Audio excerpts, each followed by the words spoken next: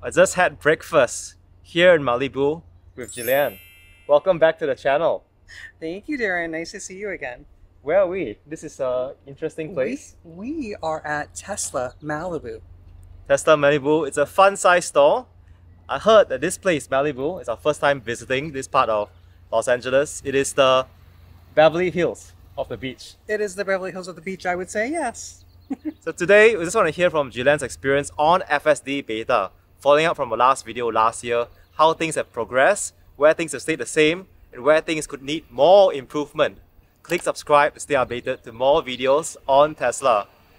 How's your experience been at FSD Beta? You've been a very early adopter. I am. You just got 11.4.2. I did. Yes, I, I did. I, I actually love it. I know it's going to be hard to believe that I say that. I do love. I love the progress that they've made. The Tesla team have um, have made software for the car that is just unbelievable. It's not perfect, but it's amazing. And I have said that from the very beginning. It's not perfect, but it's amazing, and it can, it continues to get better and better.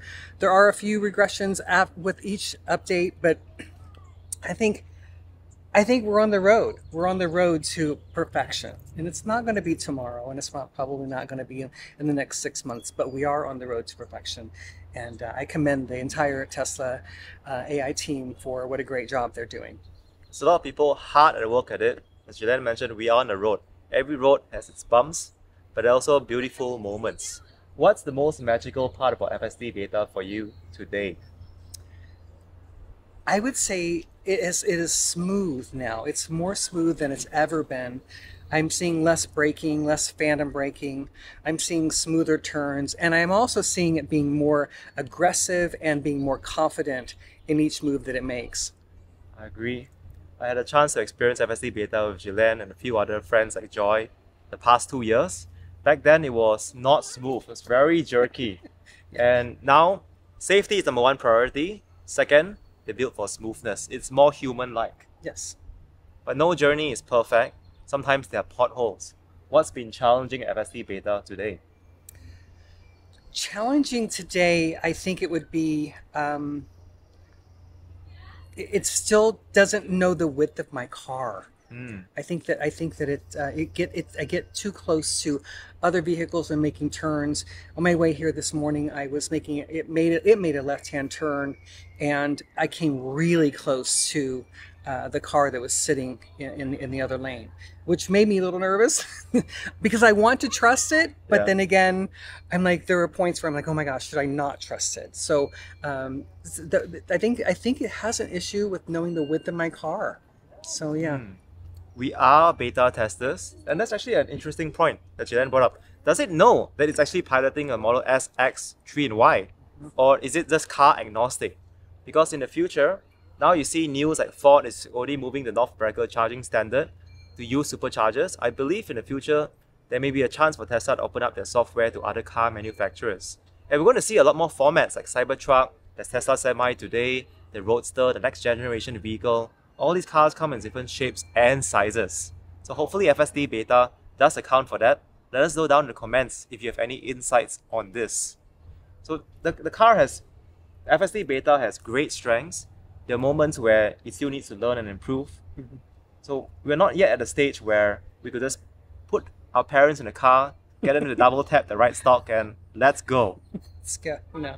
What needs to change? If let's say there's one or two things that are the most impactful things Tesla can do to improve FSD beta, what would they be?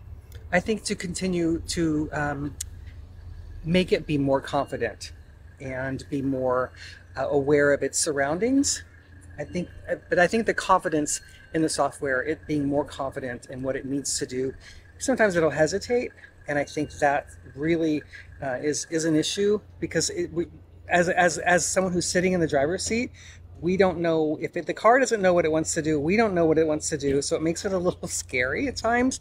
But then there are times it just always knows exactly what it needs to do and it's not scary so if it could always know exactly what it's supposed to do or it's going to do it would make uh, the experience much better i agree consistency is key you don't want to be one hand like it's like a pro Olympic player, on the other hand, is like a student learner. Right. Consistency gives us safety.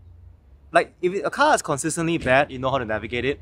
If a car is consistently good, that's great. If it's inconsistent, you're always on alert. Now, there, right. in California, it's the home of again a lot of Tesla software. It's very well trained here. There are about 300,000 Teslas in California. So, for the average Tesla owner here, who is thinking about maybe trying FSD beta, and the subscription here with $200 a month, what advice would you have for them? People who are trying it for the first time.